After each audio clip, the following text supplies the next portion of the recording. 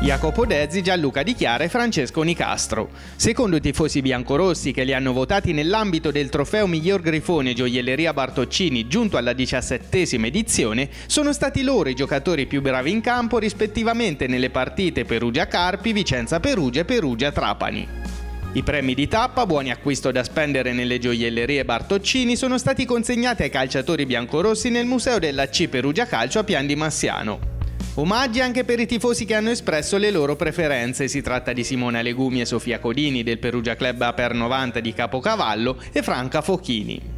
Sul sito www.perugiaclub.com dunque si potrà votare il calciatore ritenuto più meritevole nei tre giorni successivi alla partita tra una rosa di quattro nomi scelti dal coordinamento Perugia Club.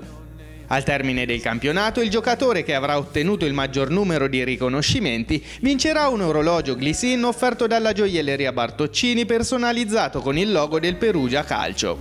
Da quest'anno si vota sul nostro sito e vediamo che chiaramente quando le, il Perugia vince eh, ci sono molti, molti, più voti che in altri casi, però sta, non pensavamo di riscuotere questo successo, è molto bello, è positivo, stanno venendo fuori altri giocatori, come sta venendo fuori Desi, è venuto fuori Brighi.